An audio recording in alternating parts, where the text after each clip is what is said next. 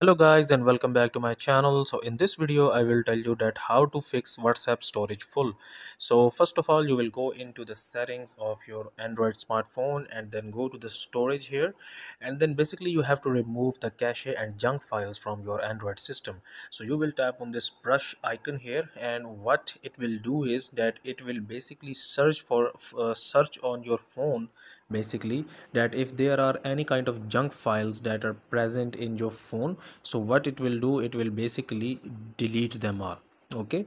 And the next step that you can do just go into the settings then apps and notifications and then tap on see all apps and then tap on whatsapp okay and then tap on storage and cache and clear the cache of your whatsapp from here and also clear the storage. But you have to remind you have to remember this that if you clear the storage all of your messages okay videos images will be deleted from whatsapp. So it is recommended to first backup your whatsapp account on a google drive and then you can just come here and clear the storage so that's it for this video guys. If you find it useful kindly like this video and subscribe to my youtube channel for more tips and tricks like this one.